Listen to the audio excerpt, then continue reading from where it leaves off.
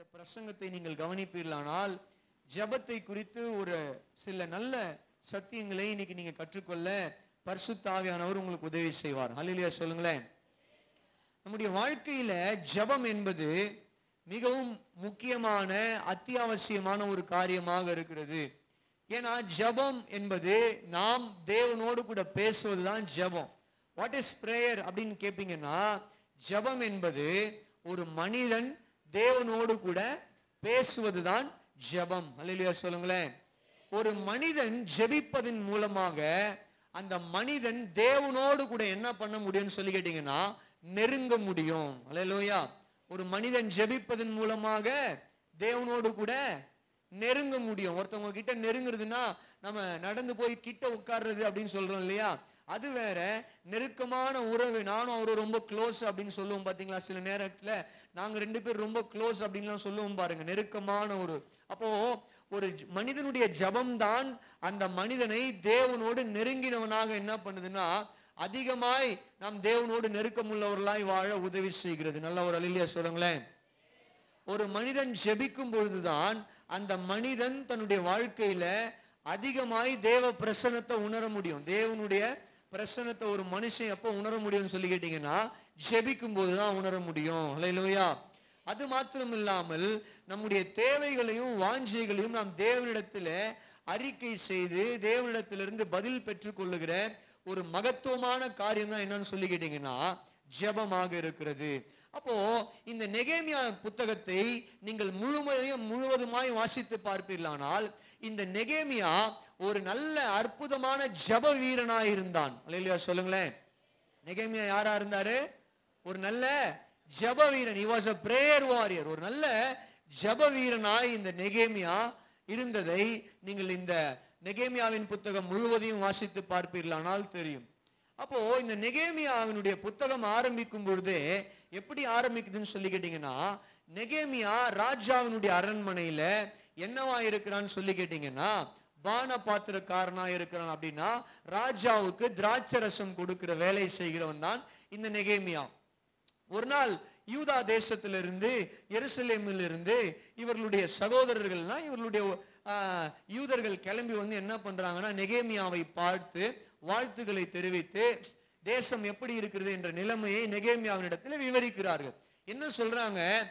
தேசம் தேசத்து ஜனங்கள் அவர்கள் இக்கட்டான சூழ்நிலையில இருக்கிறாங்க. எரிசலே மகா தீங்கையும் நிந்தனையும் அது அனுபவித்து கொண்டிருக்கிறது. ஜனங்கள் மகா தீங்கையும் நிந்தனையும் என்ன பண்ணிட்டு இருக்காங்க? அனுமதித்து கொண்டிருக்கிறார்கள். கர்த்தருடைய நகரம் பாழாய் கிடக்கிறது. கர்த்தருடைய நகரத்தின் மதில் சுவர்கள் அது அது இடிந்து விழுந்து பாழாய் கிடக்கிறது. பாபிலோனியர்கள் அதை இடிச்சு தள்ளி சுட்டரிச்சுட்டு போனாங்க இல்லையா? அதே போல அது இடிந்து விழுந்து அதனுடைய வாசல்கள் எல்லாம் தீனால சுட்டரிக்கப்பட்டு போயிருக்கிறது என்கிற ஒரு செய்தியை கேட்ட உடனே நெகேமியா என்ன பண்றாருன்னு சொல்லி கேட்டீங்கன்னா அந்த செய்தியை கேட்டு பாரப்பட்டு அங்க வசனம் சொல்லுது நாலாவது வசனம் வாசி பாருங்க. இந்த வார்த்தைகளை கேட்டபோது நான் உட்கார்ந்து அழுது சில நாளாய் துக்கித்து உபவாசித்து மன்றாடி பரலோகத்தின் தேவனை நோக்கி பிரார்த்தித்தார். யாருன்னு சொல்லி கேட்டீங்கன்னா நெகேமியா. கரங்களை வைத்து ஒரு அழகியா சொல்லுவீங்களா? கவனிங்க நெகேமியாவினுடைய ஜெபம் எப்படிப்பட்ட ஒரு ஜெபமா இருந்தது அப்படின்னு நீங்க கவனிப்பீங்கன்னா the prayer of Nehemiah was a sincere prayer அப்படின்னா அது உண்மையுள்ள ஒரு ஜெபமாக இருந்தது. ஹalleluya அப்போ முதல் காரியம் நெகேமியா அவனுடைய ஜெபம் எப்படிப்பட்ட ஜபமா இருந்ததுன்னு நீங்க சொல்லி கேட்டீங்கன்னா it is a sincere prayer உண்மையுள்ள ஒரு ஜெபமாக இருந்தது. எப்படி நான் உண்மையுள்ள ஜெபம்னு சொல்றேன்? நீங்க நாலாவது வசனம் வாசி பாருங்க. அந்த வார்த்தைகளை கேட்டபோது எருசலேம் நகரம் பாழாய் கிடக்கிறது. ஜனங்கள் எல்லாம் மகா தீங்கை அனுபவிக்கிறார்கள். தேசம் பாழாய் கிடக்கிறது. மதில்கள் சுட்டரிக்கப்பட்டு அக்கினினால் சுட்டரிக்கப்பட்டிருக்குதுன்னு செய்தியை கேட்ட உடனே நெகேமியா என்ன பண்ணாராம்? அதை கேட்ட போது உக்காந்து அழுதான். என்ன பண்ணாரு? அழுது. சில நாளாய் துக்கித்து அந்த ஒரு நிமிஷம் மட்டும் துக்கப்படல. சில நாட்களாக ஐயோ என்னுடைய தேசம் பாழாய் கிடக்கிறது. என்னுடைய ஜனங்கள் பாழாய் கிடக்கிறார்களே. என்னுடைய தேசத்தின் மதில்கள் பாழாய் கிடக்கிறதே. தேவனுடைய நகரம் பாழாய் கிடக்கிறது என்று அழுது சில நாட்களாய் துக்கித்து சாப்பிடாம உபவாசம் இருந்து இந்த நெகேமியா என்ன பண்றாருன்னு அது மட்டும் கிடையாது மன்றாடுறாரு தேவன்கிட்ட. என்ன பண்றாரு? ஜபத்துல மன்றாடுறாரு. போராடி என்ன பண்றாருன்னா தேவனிடத்துல மன்றாடி ஜபிக்கிறார். இல்லையா சொல்லுங்களேன். இப்போ கவனிங்க இந்த நெகேமியாவினுடைய ஜெபம் எப்படிப்பட்ட ஜெபம்னு சொல்லி கேட்டீங்கன்னா அது உண்மையுள்ள ஜெபம். எப்படிப்பட்ட ஜெபம்? உண்மையுள்ள ஜெபம். அப்ப கவனிங்க ஏதோ கடமைக்காக ஜெபிக்கிறவங்களாக இருக்கக்கூடாது. ஆமேன்.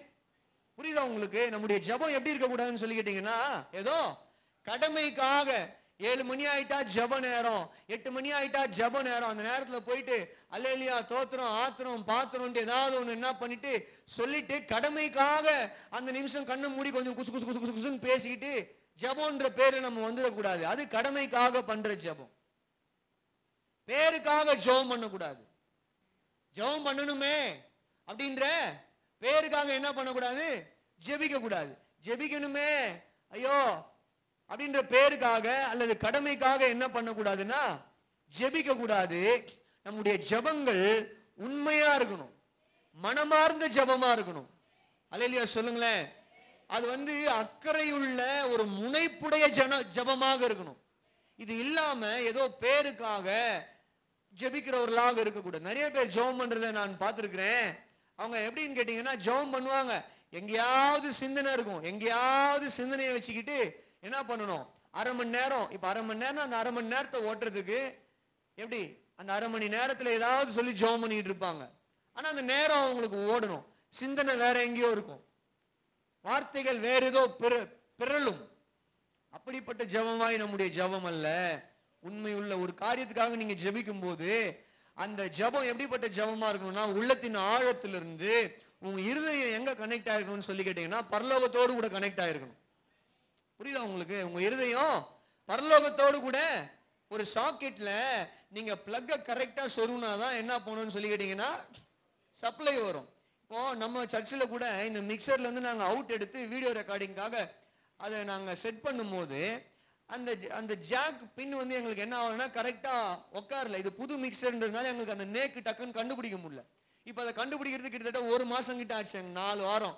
அதெல்லாம் போயிட்டு இப்போ தான் ரெண்டு வாரமாக அதை என்ன பண்ணிக்கிறோம்னா கண்டுபிடிச்சிருக்கோம். அதை கரெக்டாக எப்படி உட்கார வச்சு கனெக்ட் பண்ணால் அதுலேருந்து அவுட்புட் நமக்கு வருது அப்படின்றது. அப்போ கவனிங்க உங்களுடைய ஜெபம் உங்களுடைய இருதயம் அது உண்மையாய் பரலோகத்தோடு கூட கனெக்ட் ஆகிற ஒரு ஜபமா இருந்தாதான் அந்த ஜெபம் ஒரு பவர்ஃபுல்லான ஜபமா இருக்கும். கவனிக்கிறீங்களா? உங்க ஜெபம் உங்களுடைய இருதயம் உண்மையான வார்த்தைகளை சொல்லி மனமார்ந்த வார்த்தைகளை சொல்லி நீங்கள் பரலோகத்தோடு கூட கனெக்ட் ஆகும் பொழுதுதான் அந்த ஜெபம் ஒரு வல்லமையுள்ள ஜபமா இருக்கும். சும்மா கண்ணை மூடிக்கிட்டு அந்த நேரத்துக்காக ஏதோ நீங்க பெணாத்துறது. சும்மா கண்ணை மூடிக்கிட்டு அந்த நேரத்துக்காக ஜெபிக்கணுமே அப்படின்னு ஜெபிப்பது அது ஒரு வல்லமையுள்ள ஜெபமாக தேவனை தேவனிடத்திலிருந்து பதில் கொண்டு வருகிற ஒரு ஜெபமாக அது தேசத்தை அசைக்கிற உங்களுடைய வாழ்க்கையை அசைக்கிற ஜெபமாக இருக்காது. ஏன்னா அது வெறும் பேருக்காக வெறும் கடமைக்காக பண்ற ஜெபம். அப்போ இந்த நெகேமியாவுடைய ஜெபம் அது வல்லமையுள்ள ஜெபமாய் மாறுறதுக்கான காரணம் என்னன்னு சொல்லி கேட்டீங்கன்னா that was a sincere prayer உண்மையுள்ள ஜெபம் அது. ஊக்கமான ஜெபம். Earnest prayer sincere and earnest. அல்லையா சொல்லுங்களேன். அதனாலதான் நூத்தி நாற்பத்தி ஐந்தாவது சங்கீதத்துல வாசிக்கிறோம். வாசிங்க. இன்னைக்கு வாசிச்சோம் இல்லையா? நூத்தி நாற்பத்தி ஐந்தாவது சங்கீதத்தின் பதினெட்டாவது வசனத்தை வாசிக்க கேட்போம். தம்மை நோக்கி கூப்பிடுகிற யாவருக்கும் அங்க வசனம் என்ன சொல்லுது? தம்மை நோக்கி கூப்பிடுகிற யாவருக்கும் உண்மையாய் தம்மை நோக்கி கூப்பிடுகிற யாவருக்கும் கர்த்தர் சமீபமாய் இருக்கிறார் நல்லா ஒரு அலையிலையா சொல்லுங்களேன். அலையிலோயா When a person worship him or a pray unto him with a sincere desire, with a sincere heart to obtain the favor, help of God. நல்லா கவனிங்க. ஒரு மனிதன் உண்மையுள்ள ஒரு இருதயத்தோடு தேவனை ஆராதிப்பானேயானால் உண்மையுள்ள ஒரு இருதயத்தோடு தேவனை நோக்கி கூப்பிடுவானேயானால் எனக்கு உண்மையாவே தேவனுடைய உதவி தேவை. நான் உண்மையாகவே அவர்கிட்ட பேசணும். ஊக்கமாக ஒரு மனிதன் ஜெபத்தின் மூலமாக தேவனிடத்துல தன்னுடைய காரியங்களை சொல்லி தேவனிடத்திலிருந்து நிச்சயமா எனக்கு பதில் வேணும் அப்படின்னு ஒரு ஊக்கமாய் ஒரு மனிதன் உண்மையாய் ஜெபிப்பானே ஆனால் வசனம் சொல்லுது உண்மையாய் தம்மை நோக்கி கூப்பிடுகிற யாவருக்கும் அவர் சமீபமாயிருக்கிறார். அப்படின்னா என்ன அர்த்தம்? எந்த மனுஷன் உண்மையா கத்தரை நோக்கி ஜெபம் பண்றானோ எந்த மனிதனுடைய ஜெபம் ஊக்கமான உண்மையுள்ள ஜெபமா இருக்குதோ அந்த ஜெபத்துக்கு தேவன் என்ன பண்றாருன்னா பதில் கொண்டு வருகிறார். அப்போ நீங்க ஜெபிக்கும் போது உங்களுடைய ஜெபம் எப்படிப்பட்ட ஜெபமா இருக்குது? நீங்க வெறும் பேருக்காக ஜெபம் பண்றீங்களா? கடமைக்காக ஜெபம் பண்றீங்களா? என் கணவன் என்னை பார்த்து நான் ஜெபிக்கிற ஒரு ஸ்திரீ அப்படின்னு சொல்லணுன்றதுக்காக ஜெபம் பண்றீங்களா?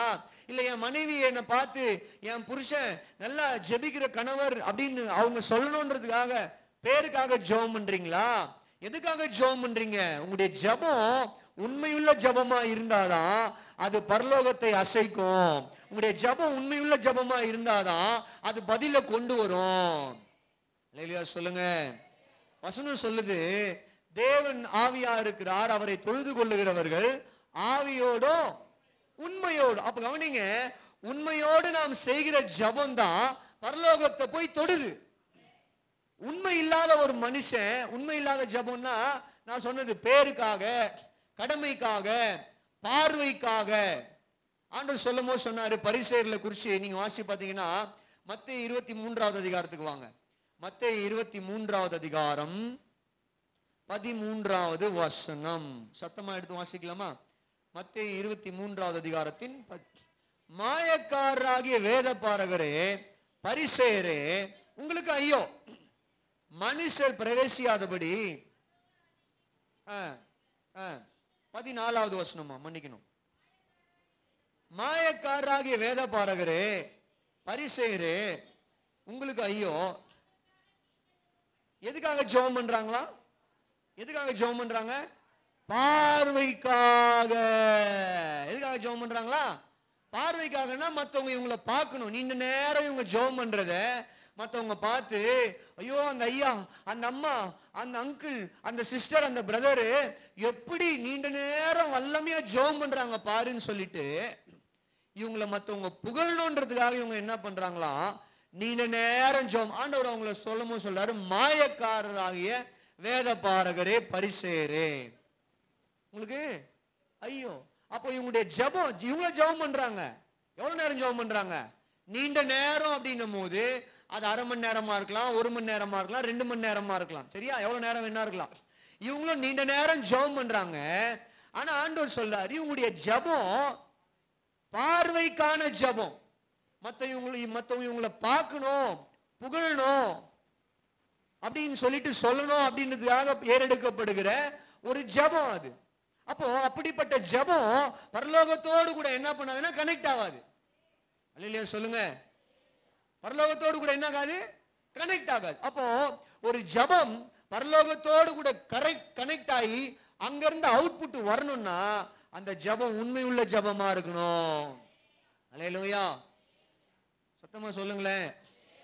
சிலர்லாம் எப்படி எடுத்துக்கிறாங்கன்னா கிடைக்கிற வரைக்கும் ஜெபம் பண்ணுங்க அப்படின்ற பிரசங்கம்லாம் நிறைய கேட்குறோம். இன்னைக்கு ஃபுல்லா எல்லாம் விசுவாச பிரசங்கமாக வந்துருச்சு. டிவி எந்த பக்கம் நீங்க டிவியை எந்த டிவியை காலையில கிறிஸ்டின் சேனல் வச்சாவே உங்கள் மன வாஞ்சைகளை கத்த நிறைவேற்றுவாராக. இன்றே உங்களுக்கு வருவதாக நான் எல்லாம் நல்லதுதான். நானும் சொல்றேன் கத்தர் உங்கள் மன வாஞ்சைகளை நிறைவேற்றுவார். எனக்கு அந்த மாதிரிலாம் சொல்ல வராது. உங்க மன வாஞ்சைகளை கத்த நிறைவே அப்படிலாம் சொல்ல வராது. நான் கீழே எப்படி பேசணும் அதே மாதிரி பலிபிடத்தில் பேசணும். கர்த்தர் உங்க மன நிறைவேற்றுவார். உங்களை ஆஸ்வதிப்பார். உயர்த்துவார். அதுதான் நானும் சொல்றேன். நான் தப்பு சொல்ல. ஆனால் என்ன சொல்றேன்? சிலர் என்ன எடுத்துக்கிறாங்கன்னு சொல்லி கேட்டீங்கன்னா இப்போ நாற்பது நாள் லென்த் நாட்கள் வருது. இல்லையா? இந்த புனித வெள்ளி ஈஸ்டர்லாம். இந்த நாற்பது நாள் நீங்க ஜெபம் பண்ணீங்கன்னா நடந்துரும் அப்படின்னு. சிலர் இந்த நாற்பது நாளும் என்ன பண்றாங்க? நாற்பது நாளும் ஜெபம் பண்ணி நடக்காதவங்களா இருக்கிறாங்க. ஏன் நாற்பது நாள் ஜெபம் பண்ணியும் நடக்கல? ஏன்னா இவங்க என்ன மைண்ட் செட்ல ஜெபம் பண்றாங்கன்னு சொல்லி கேட்டீங்கன்னா பத்து நாள் ஜெபம் பண்ணா நடந்துரும். இருபது நாள் ஜெபம் பண்ணா நடந்துரும். முப்பது நாள் ஜெபம் பண்ணா நடந்துரும். நாற்பது நாள் ஜெபம் பண்ணா நடந்துரும். சுத்தி சுத்தி வந்து ஜெபம் பண்ணா நடந்துரும்னு சொல்லிட்டு இவங்களுடைய கவனம் எங்க இருக்குதுன்னா அந்த நாற்பது நாள் மேலதான் இருக்குது. இந்த ஒரு நாள் எப்படி ஓட்டுறது ஜெபத்துல? அடுத்த நாள் எப்படி ஓட்டுறது அப்படிதான் கவனிக்கிறாங்களே தவிர்த்துட்டு அந்த ஜெபம் உண்மையுள்ளதா இல்லாத பட்சத்துல அது பரலோகத்தோடு கூட என்ன ஆகாதுன்னா கனெக்ட் ஆகாது. புரிஞ்சவங்களே இல்லையா? சொல்லுங்க. அப்போ நீ ஒரு நாள் பண்ணாலும் சரி பத்து நாள் பண்ணாலும் சரி நாற்பது நாள் பண்ணாலும் சரி நான் பண்றவங்களை குறை சொல்ல வரல. அதை உண்மையாய் சரியாய் பண்ணும் பொழுதுதான் அந்த ஜெபம் ஒரு சின்சியரான ஒரு ஏர்னஸ்ட் பிரேயரா இருந்தா மட்டும்தான் அந்த ஜெபத்துக்கு பதில் பரலோகத்துல இருந்து வரும். அலிலியா சொல்லுங்க. புரிஞ்சவங்க சத்தமா அலிலியா சொல்லுங்க. அப்போ நீ உண்மை இல்லாத ஜெபத்தை நாற்பது நாள் இல்ல நாற்பது வருஷம் பண்ணாலும் பதில் வராது. இந்த இஸ்ரவேல் ஜனங்க நாற்பது வருஷம் வேணான்றதுல ஜெபம் பண்ணாம இருந்திருப்பாங்களா? சொல்லுங்க. பண்ணிருப்பாங்கல்ல? ஆண்டவர் அலைய விட்டாரு நாற்பது வருஷம். அப்ப கவனிங்க நான் என்ன சொல்ல ஒரு மனிதனுடைய ஜெபம் அது வல்லமையுள்ள ஜெபமாய் மாற வேண்டுமானால் உன்னுடைய ஜெபம் பரலோகத்தோடு கூட கனெக்ட் ஆக வேண்டுமானால் உன்னுடைய ஜெபம் பரலோகத்திலிருந்து பதில கொண்டு வர வேண்டுமே ஆனால் அது உண்மையுள்ள ஜபமா இருக்கணும். உங்க வார்த்தை உங்க நீங்க சொல்ற அந்த ஜெப குறிப்புகள் ஏதோ பேருக்காக கடமைக்காக வருகிறவைகளா இருக்கக்கூடாது. It should it should be and sincere prayer request prayer உண்மையா நீங்க ஒரு விஷயத்துக்கு ஜெபம் பண்ணும்போது ஊக்கமா ஒரு விஷயத்துக்கு ஜோம் பண்ணும்போது கர்த்தர் நிறைவேற்றுவார். வசனம் சொல்லுது எலியா நம்மை போல ஒரு பாடுள்ள மனுஷன் ஆனாலும் இந்த எலியா என்ன பண்ணான்னு சொல்லி கேட்டீங்கன்னா கருத்தாய் ஜெபித்தான் ஊக்கமாய் ஜெபித்தான் ஆனஸ்ட் பிரேயர் இன்னொரு உதாரணத்தை நான் உங்களுக்கு சொல்லி அடுத்த குறிப்புக்கு போறேன். அப்போ சிலர் பன்னிரெண்டாவது அதிகாரத்துக்கு நீங்கள் வருவீர்களானால் அப்போ சிலர் பன்னிரெண்டாவது அதிகாரத்தின் ஐந்தாவது வசனத்தை அப்படியே பேதுரு அப்போ சிலர் பன்னிரெண்டு அஞ்சு கரெக்ட் தான். சிறைச்சாலையில் காக்கப்பட்டிருக்கையில் சபையார் அவனுக்காக தேவனை நோக்கி எப்படி ஜெபம் பண்ணாங்க? எப்படி ஜெபம் பண்ணாங்க? தூக்கத்தோடு கிடையாது ஊக்கத்தோடு. நம்ம இன்னைக்கு எப்படி தெரியுமா ஜெபம் பண்றோம்? தூக்கத்தோடு ஜெபம் பண்றோம். தூங்கினே ஜெபம் பண்றது. நிறைய நேரத்தில் தூங்கினே ஜெபம் பண்ணிட்டா பதில் கிடைச்சதுன்னு நினைச்சுக்கிறது. தூங்கினே ஜெபம் பண்றது தூங்கினே ஜெபம் பண்ண வேணாமா? ஆண்டவர் வந்து கேட்டார் சீசர்ல பார்த்து ஏம்பா ஒரு மணி நேரம் கூட உங்களால தூங்காம ஜோம் பண்ண முடியாதா? ஒரு மணி நேரம் கூட? தூங்காம ஜெபம் பண்ண மு- அப்ப என்ன அர்த்தம் அதுக்கு? தூங்கினே ஜெபம் பண்ணாதையா? எப்படி ஜெபம் பண்ண? தூக்கத்தோடு ஜெபம் பண்ணாத ஊக்கத்தோடு ஜெபம் பண்ணு. அலையலூயா. சத்தமா சொல்லுங்க. ஆனால் நிறைய பேர் இன்னைக்கு என்ன சொல்கிறோம்னு சொல்லி கேட்டிங்கன்னா எங்கே பிரதர் முட்டி போட்டு உட்காந்தாவே தூக்கம் வந்துடுது. தூக்கம் வராத நேரத்தில் ஜெபம் பண்ணுங்க. அவ்வளோதான் சிம்பிள் முட்டி போட்டு ஜெபம் பண்ணா தூக்கம் வருது. அப்போ என்ன அப்போ எது எந்த நேரத்தில் உனக்கு தூக்கம் வராமல் கண்ணு ஆக்டிவாக இருக்குது? நாடகம் பார்க்கும் போதா சினிமா பார்க்கும் போதா அப்போ என்ன பண்ணு? டிவி ஆஃப் பண்ணிட்டு ஜெபம் பண்ணு. புரியுதா? எப்போ உனக்கு தூக்கம் வராமல் இருக்குது? மத்தியானமா? ஒரு மணிக்கா ரெண்டு மணிக்கா ஏழு மணிக்கா எட்டு மணிக்கா ஒன்பது மணிக்கா? எதை பார்க்கும்போது தூக்கம் வராம தெளிவா கண்ணு நல்லா முட்டை முட்டை கண்ணு திறந்து வச்சுன்னு பார்த்துட்டு உட்காடுறோம் தூக்கம் வராம. அந்த நேரத்தில் அதை ஆஃப் பண்ணிட்டு ஜோம் பண்ணு. அலையிலையா சொல்லுங்க. அதை விட்டுட்டு ஜோம் பண்ணா தூக்கம் வருது தூக்கம் வருதுன்னாதீங்க. வாய் மேலேயே குத்துவார் ஆண்டவர். அலையிலூயா அப்போ பிரியமானவர்ல இந்த காலை வேளையில ஒரு மனிதன் இந்த இந்த இந்த இந்த இடத்துல வாசிக்கிறோம்.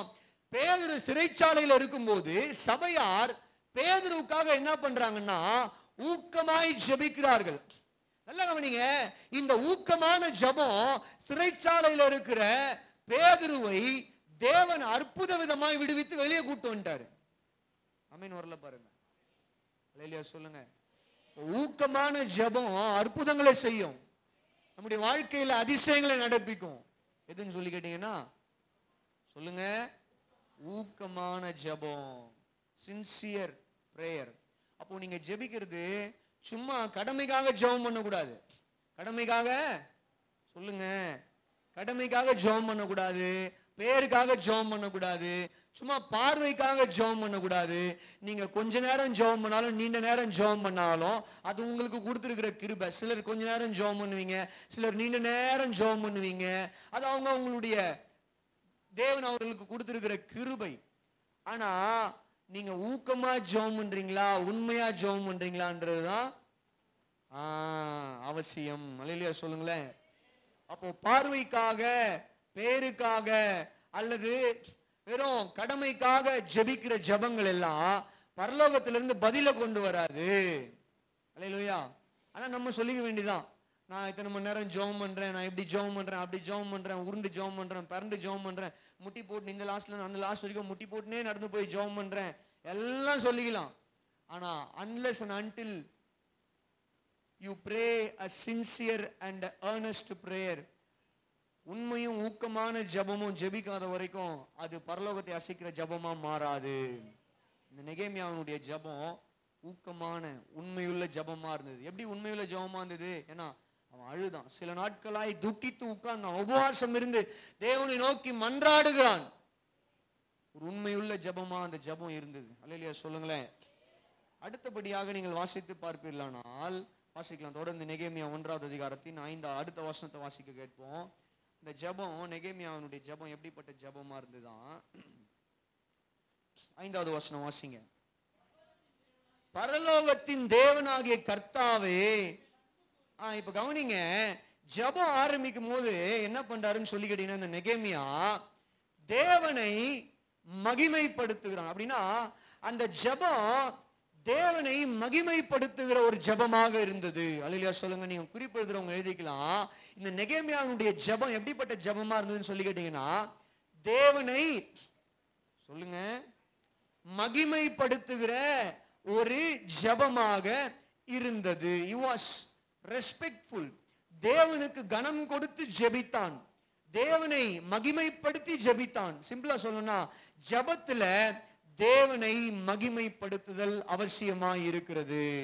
அப்போ கவனிங்க அவன் தேவனை நோக்கி ஜெபிக்கும் போதே ஒரு காரியத்தை புரிந்தவனாக உணர்ந்தவனாக ஜெபிக்கிறான். எதை புரிஞ்சு உணர்ந்து ஜெபிக்கிறான்? பரலோகத்தின் தேவனாகிய கர்த்தாவே எல்லாவற்றையும் ஆளுகிறவர். பரலோகத்தில் வீற்றிருக்கிறவர். பரலோகத்தின் சிங்காசனத்தில் வீற்றிருக்கிற தேவாதி தேவன் தான் சர்வ பூமிக்கும் ஆண்டவர் அதிகாரம் உடையவர் என்கிற சத்தியத்தை புரிஞ்சுக்கிட்டு அவர் அட்ரஸ் பண்ணும் போதே எப்படி அட்ரஸ் பண்றான்னா பரலோகத்தின் தேவனாகிய கர்த்தாவே அப்படின்னு சொல்லிட்டு தேவனை மகிமைப்படுத்தி அவன் என்ன பண்றான்னு சொல்லி கேட்டீங்கன்னா தன்னுடைய ஜெபத்தை ஆரம்பிக்கிறான். அலையிலியா சொல்லுங்களேன். அப்போ உங்களுடைய ஜெபம் எப்படிப்பட்ட ஜபமா இருக்கணும்னு சொல்லி கேட்டீங்கன்னா தேவனை மகிமைப்படுத்துகிற ஒரு ஜெபமாக இருக்கணும். அலையலூயா தேவனை மகிமைப்படுத்துகிற ஒரு ஜெபமாக இருக்கணும். நான் சில நாட்களுக்கு முன்னாடி வாலிப பிள்ளைகளுக்கு சொல்லி கொடுத்தேன். ஜபத்துல நான் இருக்க வேண்டிய நாலு குறிப்பு அப்படின்னு சொல்லிட்டு உங்களுக்கும் சொல்லி கொடுத்தேன்.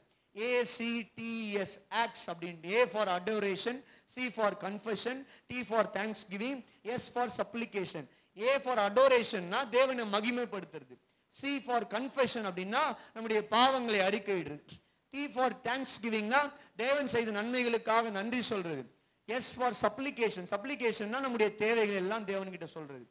ஆனா நிறைய நேரத்துல நம்ம ஜபோன் உட்காந்துட்டாவே என்ன தெரியுமா பண்றோம்? முழு நேரமும் எனக்கு அது வேணும் எனக்கு இது வேணும் நான் அங்கே போகணும் நான் இங்கே போகணும் நான் இதை செய்யணும் நான் அதை செய்யணும் எனக்கு இதை கொடு எனக்கு அதை கொடு. ஜபம் ஆரம்பத்துல இருந்து முடி வரைக்கும் இதாகவே முடிஞ்சிருது ஆரம்பத்துல இருந்து முடிவு வரைக்கும் இதாகவே முடிஞ்சிருச்சு. இப்போ உங்க ஆஃபீஸில் வேலை செய்றீ நீங்கள் வேலை செய்கிறீங்க உங்கள் மேனேஜர்கிட்டயோ இல்லை சூப்பர்வைசர்கிட்டயோ இல்லை உங்கள் ஓனர்கிட்டயோ இல்லை படிக்கிற பிள்ளைங்க ஒரு லீவ் கேட்கறதுக்காக என்ன பண்ணுறீங்கன்னா ஒரு லெட்டர் எழுதுறீங்க இல்லை ஒரு மெசேஜ் டைப் பண்ணுறீங்க எப்படி டைப் பண்ணுவீங்க? நம்ம அந்த லெட்டர் ஆரம்பிக்கும் போது எப்படி ஆரம்பிக்கிறோம்? ரெஸ்பெக்டட் சார் தமிழ்னா அருமையான அக்கா சொன்னாங்க ஐயா அப்படின்னு ஆரம்பிப்போம். யோ இன்னைக்கு லீவ் வேணும் குடியான்னு சொல்லுவோமா? இல்ல மேனேஜர் பேரு ஏதாவது ஒரு பேர் வச்சுக்கோங்க. ரியாஸ்னு வச்சுக்கோங்க. சரி சீக்கிரமா மேனேஜர் ஆயிடுவா விடு. ஆமேன் ரியாஸ் எனக்கு லீவ் வேணும் கொடுன்னு சொல்லுவோமா?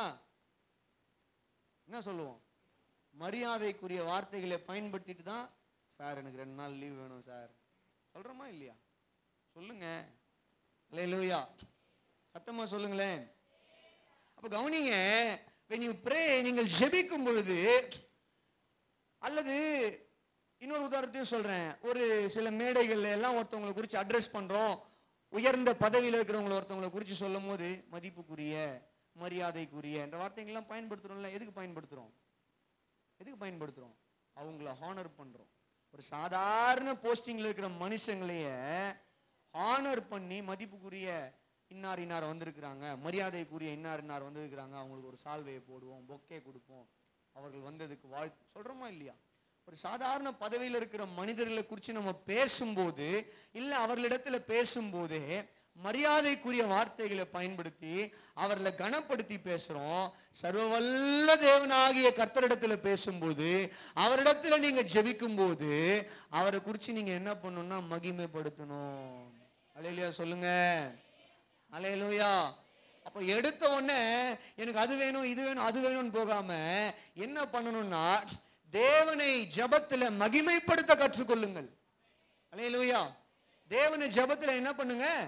மகிமைப்படுத்த கற்றுக்கொள்ளுங்க. அவருடைய நாமத்தை சொல்லி துதிங்க. அவருடைய வல்லமையுள்ள செயல்களை சொல்லி துதிங்க. அவருடைய மகத்துவமான காரியங்களை எல்லாம் என்ன பண்ணுங்கன்னா சொல்லி துதிங்க. நீங்கள் வேதத்துல வாசித்து பார்ப்பீர்களானால் வெளிப்படுத்தின விசேஷம் ஐந்தாவது அதிகாரத்தின் பதினோரு பனிரெண்டு ஆகிய வசனங்களை நாம் வாசிக்க கேட்போம். வெளிப்படுத்தின விசேஷம் அஞ்சு பதினொன்னு பன்னிரெண்டு வாசிக்கலாம். பின்னும் நான் பார்த்தபோது சிங்காசனத்தையும் ஜீவன்களையும் அநேக தூதர்களுடைய சத்தத்தை கேட்டேன்.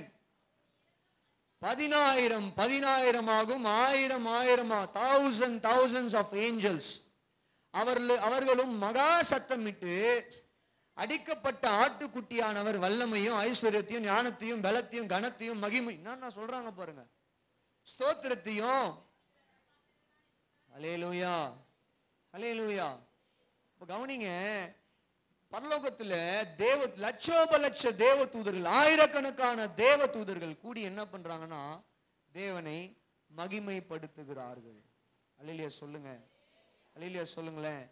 அப்போ தேவனை மகிமைப்படுத்துகிறல் என்பது தேவனுக்கு பிரியமான ஒன்று. அதை தேவன் எதிர்பார்க்கிறார். பரலோகத்தில் நடக்கிறது அதுதான். பரலோகத்தில் நடக்கிறது என்னது? சொல்லுங்க. தேவனை மகிமைப்படுத்துறது தான் பரலோகத்தில் நடக்குது. அமேன் அப்போ நம்முடைய ஜபத்தில் என்ன நடக்கணும்? நம்முடைய வீட்டில் தேவனை மகிமைப்படுத்தணும். நம்முடைய வீட்டில் நம்ம பண்ற ஜபத்தில் நம்ம என்ன பண்ணணும்?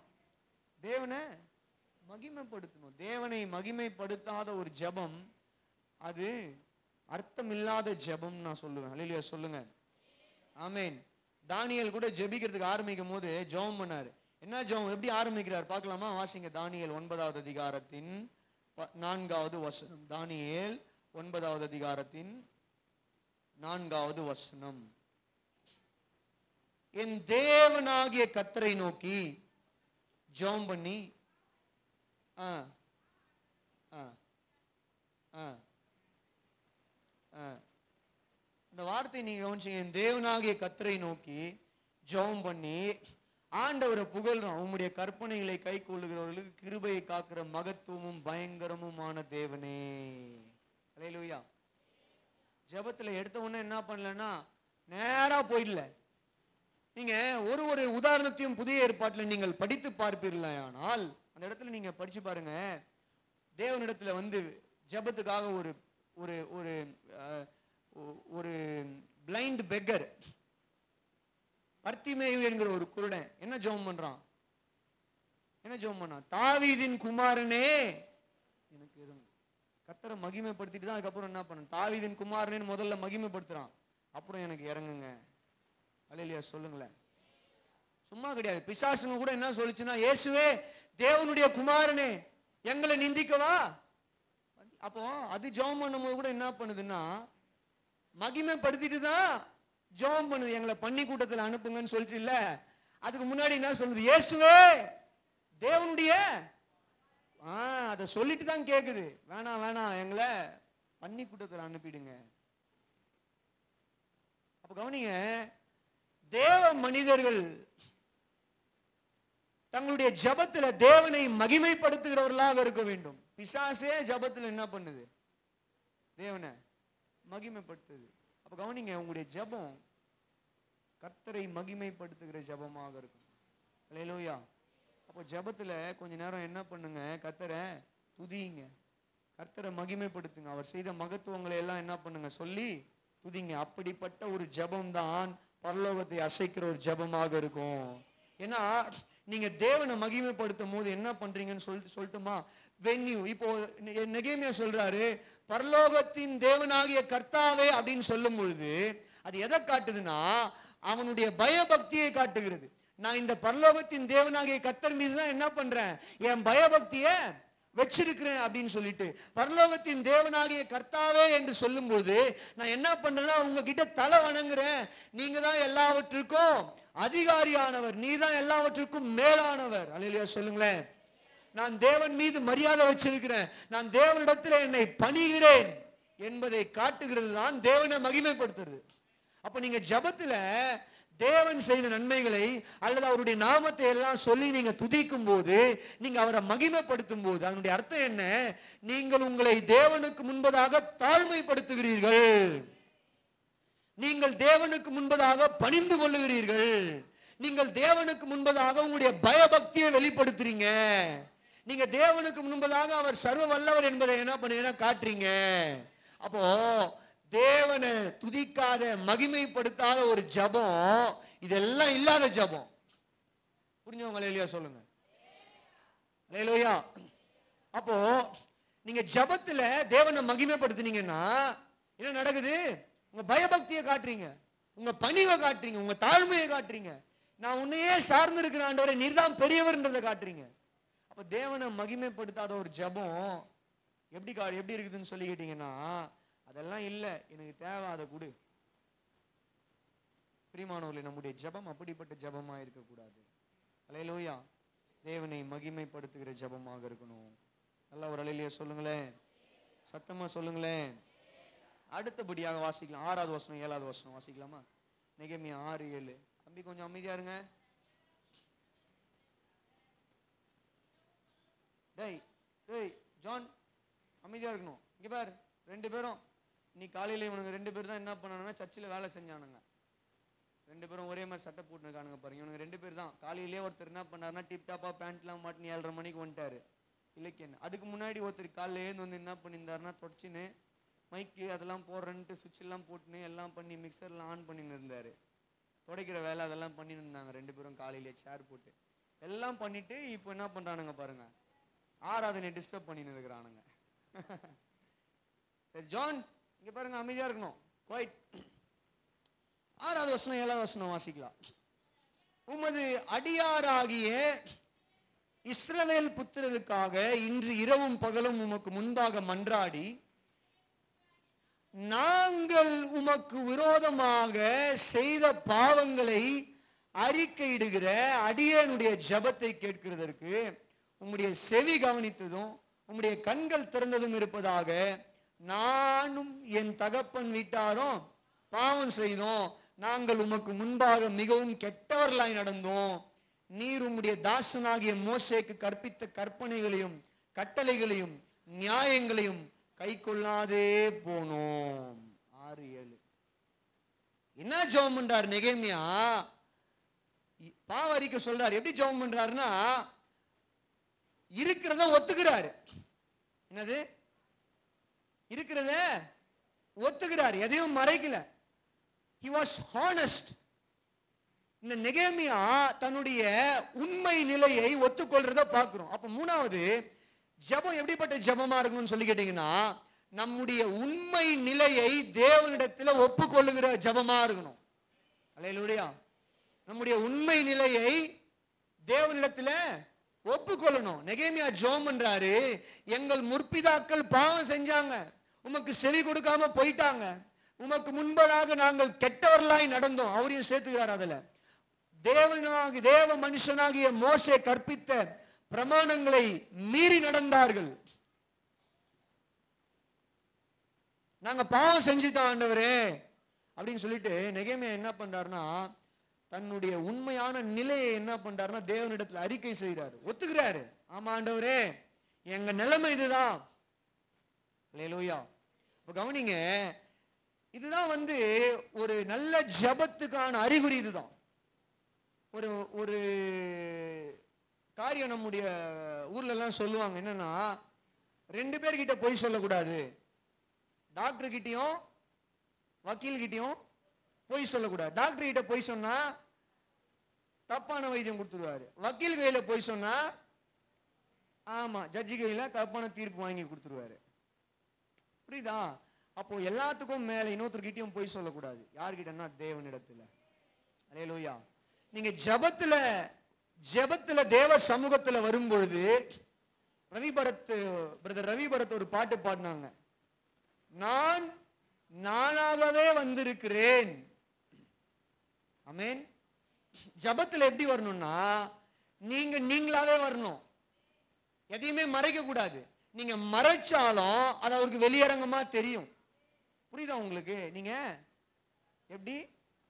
மறைஞ்சாலும் அது அவருக்கு வெளியரங்கமா தெரியும். நான் என் பய பிள்ளை கூட எல்லாம் விளையாடுவேன். ஒளிராட்டம் விளையாடுவோம் நாங்க. அப்ப நான் போய் உஷாரா ஒளிஞ்சிப்பேன். அவன் ஒளிறது எப்படி இருக்கும்னு சொல்லி கேட்டீங்கன்னா இப்படி ஒளிஞ்சு நிற்பான் கை லெஃப்ட் கை மட்டும் தெரியும். இல்ல கால் தெரியும். சட்டை தெரியும். பேண்ட் தெரியும். அவன் சொரியறதெல்லாம் தெரியும். அப்படிதான். எப்படி? நம்ம தேவனிடத்துல மறைக்கணும்னு நினைச்சாலும் பாதி தெரியும். நம்ம சொரியது தெரியும் காது தெரியும் எல்லாம் தெரியும் அவருக்கு. மறைக்க முடியாது. அப்போ நீங்க ஜபத்துல வரும்பொழுது உங்களுடைய உண்மை நிலை என்ன? அதை அறிக்கையிடுங்க ஒத்துக்கோங்க தேவனிடத்துல. தப்பு கிடையாது. புரியுதா உங்களுக்கு? அதுதான் நெகேமியா பண்ற. என்ன பண்றாருன்னா he was transparent. வெளியரங்கமாய் ஆண்டவரே ஆமா எங்க முற்பிதாக்கள் பாவம் பண்ணிட்டாங்க. கெட்டவங்களா நடந்தோம் நாங்க பாவம் பண்ணிட்டோம் மீறி நடந்துட்டோம். நாங்க தப்பு பண்ணிட்டோம் ஆண்டவரே. எங்க வாழ்க்கையில இப்படி இருக்குது. நாங்க பண்ண தப்பு நிமித்தம் இன்னைக்கு எருசலேம் நகரம் இப்படி பாழாய் கிடக்கிறது. மதில்கள் இடிந்து பாழாய் தீக்கிரையாகப்பட்டிருக்கிறது. எங்க நிலைமை இதுதான். ஒத்துக்கிறான் நெகேமியா. He was transparent about that அப்போ இந்த காலை வேளையில தேவ சமூகத்துல நீங்கள் ஜெபிக்கும் போது பி டிரான்ஸ்பரண்ட் ஒளிவு மறைவுலாம் வேணாம். தேவனிடத்துல ஓப்பனா இருங்க உங்களுடைய இருதயத்தை தேவனுக்கு திறந்து கொடுங்க. உள்ள என்ன இருக்குதோ அது வாயில வரட்டும். அல்லேலூயா சொல்லுங்க. ஒத்துக்கோங்க தேவனிடத்துல. அதை என்ன பண்ணுங்க? ஒத்துக்கோங்க. தாவிது சொல்லும் போது சொன்னா நான் அடக்கி வச்ச முட்டை எனக்கு நிம்மதி இல்லை அப்படின்னு. நான் சொல்றேன் நீங்க அடக்கி வைக்கிற வரைக்கும் நிம்மதி இருக்காது. தேவனிடத்துல உங்க நிலைமையை ஒத்துக்கோங்க. Don't hide anything from God தேவனிடத்துல எதையுமே என்ன பண்ணாதீங்க. மறைக்காதீங்க. நல்ல ஒரு அலையிலையா சொல்லுங்களேன். நான் சொல்றேன் பாருங்க நீங்க மறைக்கணும்னு நினைச்சா அது வீண் தான். நான் அதான் முன்னாடியே உதாரணம் சொல்லிட்டேன். நீங்க மறைக்கணும்னு நினைச்சாலும் காலு இப்படிதான். நம்ம மறையிறது இப்படிதான். இதெல்லாம் மறைஞ்சிருக்கும். கால் மட்டும் தெரியும். தாவீது அப்படிதான் நினைச்சான். உரியாவினுடைய மனைவி பட்சேபாலை உரியாவை கொன்னிட்டு அவனுடைய மனைவி பட்சேபாலை இவன் தன்னுடைய மனைவி ஆக்கி கொள்ளணும் அப்படின்னு அவன் நினைக்கும் போது உரியாவை கொன்னுட்டு பட்சேபாலிடத்துல விபச்சாரம் செஞ்சு மறைக்கணும்னு நினைச்சான் ஆனா நாத்தான் மூலமாக அது வெளியே வந்துருச்சு. ஆமேன். நல்லா ஒரு அழிவியா சொல்லுங்க. நாத்தான் மூலியமா வெளியே வந்துட்ட உடனே இப்ப இவர் என்ன ஜெபம் பண்றாரு பார்க்கலாம் வாங்களேன். அதுல உங்களுக்கு ஹைலைட் காட்டுறேன் பாருங்க. ஐம்பத்தி ஒன்று சங்கீதம் ஐம்பத்தி ஒன்று என்ன நினைச்சு திரும்பி நீங்க? நீங்க ஐம்பத்தி ஒண்ணுன்னு நான் சொன்ன உடனே. ஆ. என் அக்கிரமம் நீங்க என்னை முற்றிலும் கழுவி என் பாவம் வரை என்னை சுத்திகரியும். என் மீறுதல்களை நான் அறிந்திருக்கிறேன். பாவம் எப்போதும் எனக்கு முன்பாக நிற்கிறது. தேவரீர் ஒருவருக்கு விரோதமாக நான் பாவம் செய்தேன். கண்ணுக்கு முன்னாடி நான் பொல்லாகானதை செஞ்சிட்டேன். நீங்க பேசும்போது நீதி விளங்கணும். நீங்க நியாயம் தீர்க்கும் போது பரிசுத்தம் விளங்கணும். இப்ப ஐயோ எவ்வளோ எவ்வளவு இவர் பாருங்க. ரொம்ப டிரான்ஸ்பரண்டா இருக்கிறாராம். என்ன சொல்றாரு? உன் கண்ணுக்கு முன்னாடி நான் என்ன பண்ணிட்டேன்? பாவம் செஞ்சிட்டேன். நீங்க பேசுறப்போ உங்க நீதி விளங்கணும். நீங்க நியாயம் தீர்க்கும் போது உங்களுடைய பரிசுத்தம் விளங்கணுன்றதுக்காக நான் என்ன பண்றேன் இத? அறி இவர் தான் என்ன பண்ணாருன்னா மறைக்கிறதுக்கு நினைச்சவர்.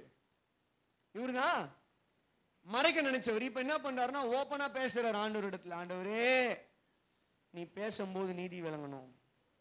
நீ நியாயம் தீர்க்கும் போது உங்களுடைய பரிசுத்தம் விளங்கணும் ஆண்டவர். உன் கண்ணுக்கு முன்னாடி நான் பாவம் பண்ணிட்டேன். என் பாவம் மறை என்னை சுத்திகரியும்.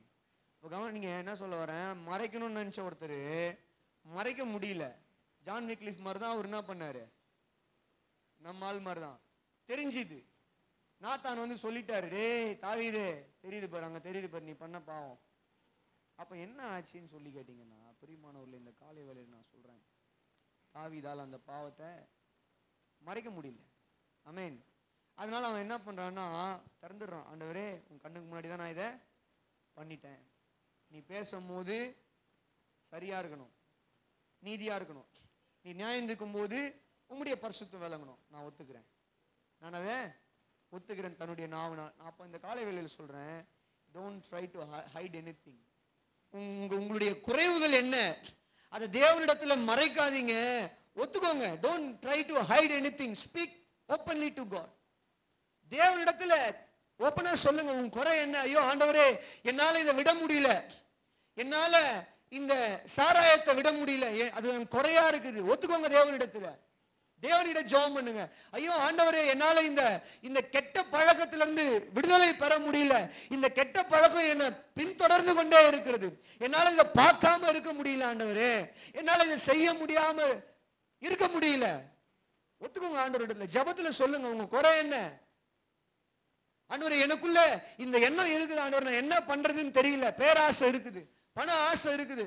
நான் என்ன பண்ணணும்னு தெரியல எனக்கு உதவி செய்யுங்க. நான் ஒத்துக்கிறேன் ஆண்டவரே நான் முன்ன போல இல்லை நிறைய கோவப்படுறேன். என் கோவத்தை கண்ட்ரோல் பண்றதுக்கு உதவி செய்யுங்க. Be be transparent be open ஆண்டவரே என் வாழ்க்கையில் இவ்வளோ கஷ்டம் இருக்குது.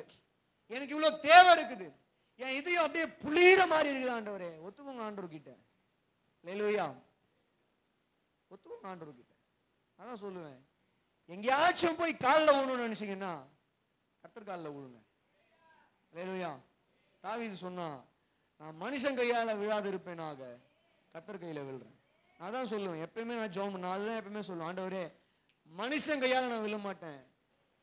உன் கையால் என்ன வேணா வாங்கிக்கிறேன். அதே மாதிரி மனுஷன் காலில் விழ மாட்டேன். தேவன் காலில் விழுந்துருவேன் hallelujah be transparent be open உங்க குறைய சொல்லுங்க அங்க ஆண்டவர் கிட்ட என்னால முடியல ஆண்டவர். என்னால எங்க குடும்பத்துல இருக்கிற பிரச்சனைகளை சமாளிக்க முடியல.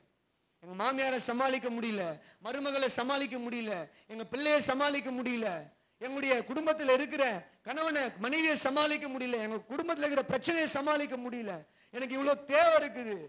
அவர் சம் சமூகத்தில் அழுங்க. கிரை பிஃபோர் உங்க வீக்னஸ் சொல்லுங்க. எதெல்லாம் உங்களுக்கு வீக்னஸா இருக்குது? என் வீக்னஸ் இதுதான் ஆண்டவர். என்னால இந்த மொபைல் பார்க்கறதுல இருந்து வெளியே வர முடியல. நான் இதுல உட்காந்தேன்னா அஞ்சு மணி நேரம் ஆறு மணி நேரம் இதுலயே உட்கார்ந்து இருக்கிறேன் சொல்லு ஓப்பனா சொல்லு. வாலிப தம்பி வாலிப தங்கச்சி. ஆண்டர்கிட்ட சொல்லி ஜெபம் பண்ணு. ஒத்துக்கோ. நீ மறைக்கணும்னு நினைக்காத. நீ மறைக்க முடியாது. நீ எதையுமே மறைக்க முடியாது. Everything was transparent before him அவர் கண்களுக்கு முன்பதாக சகலமும் வெளியரங்கமும். வெளியரங்கமா இருக்கு. அலையிலியா சொல்லுங்களேன். சத்தமா சொல்லுங்களேன். ஆமென். கெஞ்சனும் பிச்சை எடுக்கணும்னு தோணுதா? யார்கிட்டயாச்சும் போய் கேட்டுடலாம் அப்படின்னு தேவன் கிட்ட கேளு. அல்லேலூயா எங்கேயாச்சும் போய் கை நீட்டி வாங்கிடலாம்னு தோணுதா? கர்த்தர்கிட்ட வா. ஆமென் சொல்லுங்களேன். அவர்கிட்ட கெஞ்சுங்க ஜெபத்துல. ஜெபத்துல அங்க கெஞ்சுங்க. நெகேமியாவை சொல்ல அவன் மன்றாடி ஜெபித்தான். அல்லேலூயா ஜோம் பண்ணு. கெஞ்சி. எங்கேயோ போய் நாலு பேரு தாண்டி கெஞ்சறதுக்கு இருதயம் வருது. ஆனா முட்டி போட்டு தேவ சமூகத்துல கெஞ்சி தேவனிடத்துல கேட்கறதுக்கு ஏன் இருதயம் வர மாட்டேங்குது? எங்கேயோ போய் உதவி செய்யாத கல் நெஞ்சக்கார மனிதர்களிடத்துல கெஞ்சி கெஞ்சி கெஞ்சி அவங்க பின்னாடி ஓடி ஓடி ஓடி இறங்கி போறதுக்கு நமக்கு இருதயம் இருக்குது. ஆனா முட்டி போட்டு முழங்கால் படிட்டு தேவ சமூகத்துல உட்கார்ந்து பரலோகத்தின் தேவனை நோக்கி கெஞ்ச ஏன் உனக்கு இருதயம் இல்லை? கெஞ்சுங்க. கத்தரிடத்துல கெஞ்சு. கத்தரிடத்துல மன்றாடு. கத்தருடைய காலில் விழுந்து போ. அல்லேலூயா சொல்லுங்க. சத்தமா சொல்லுங்க. அல்லேலூயா அப்போ எதையும் கத்தரிடத்துல மறைக்காதீங்க. ஓப்பனா இருங்க. கத்தர்கிட்ட ஓப்பனா உங்களுடைய வீக்னஸ் ஒத்துக்கோங்க. அண்டவரே என் குறை இதுதான். என் பலவீனம் இது. என்னால் இதை செய்யாம இருக்க முடியல. இப்போ ஞானஸ்தானம் எடுக்காதவங்க யாராவது இருப்பீங்கன்னா நீங்க ஞானஸ்தானம் எடுக்காத ஒரு காரணம் இருக்கும். ஏதாவது ஒரு காரணம் வச்சிருப்பீங்க. என்னால் இதை விட முடியல. என்னால் இதை செய்ய முடியல. அதனால நான் ஞானம் சொன்னேன் நான் சொல்றேன் இன்னைக்கு தேவ சமூகத்தில் தேவனிடத்தில் அறிக்கையிடு. ஆண்டவரே நான் இதனால தான் என்ன பண்றேன்னா என்கிட்ட இந்த பலவீனம் இருக்குது.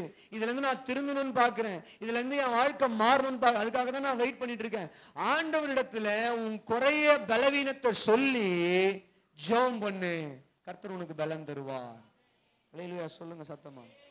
இந்த காலை வேளையில பிரியமானவர்களே தேவ சமூகத்துல உங்களுடைய ஜெபம் எப்படிப்பட்டதா இருக்கணும்னு சொல்லி கேட்டீங்கன்னா அது உங்களுடைய உண்மை நிலையை ஒப்புக்கொள்ளுகிற ஜபமாக இருக்கும் அமேன் ஒத்துக்கோ ஆண்டவர்கிட்ட ஒத்துக்கோ. ஆண்டவரே எனக்குள்ளே பொறாமல் இருக்குதா ஆண்டவரே?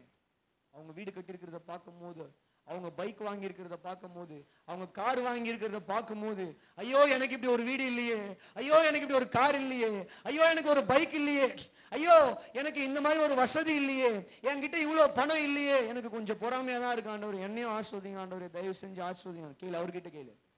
நீ அங்கே போய் இப்படி பேசிட்டேன்னா தப்பு கிடையாது. ஆனால் நாலு தெருவு தள்ளி போயிட்டு அவங்க கட்டின வீடையோ காரையோ பங்களாவையோ இல்லை வீட்டையோ பைக்கையோ இல்லை அவங்க கிட்ட இருக்கிற பணத்தையோ பத்தி பேசுவோம்னா அதுவே பாவமாக மாறுகிறது. அது பாவமாக பொறாம பொறாமை எல்லாருக்குமே இருக்கதான் செய்யும்.